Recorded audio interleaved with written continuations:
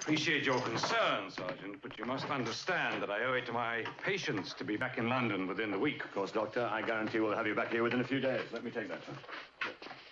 Inspector Trout, sir? I must say, I feel rather like a head of state. Right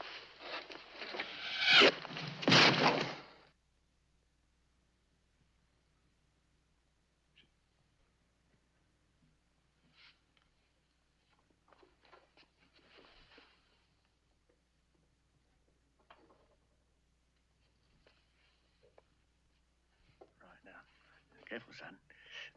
Easy does it. I think it's a left-hand thread. Yes, it is.